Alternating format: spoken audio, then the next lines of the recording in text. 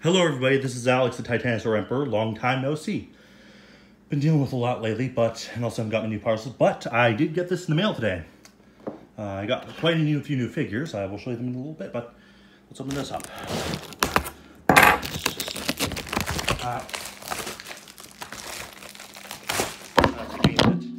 Sorry, you can't see it. Let's be fair. There we go. The new Jurassic World's uh, Attack Pack Rhamphorhynchus.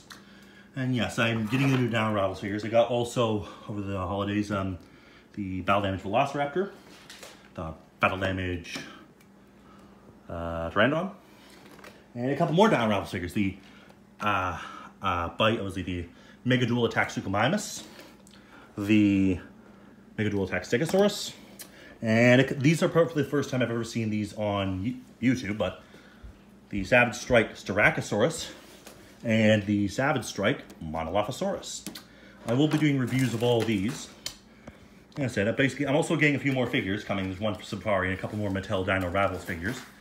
And I'm really excited for those.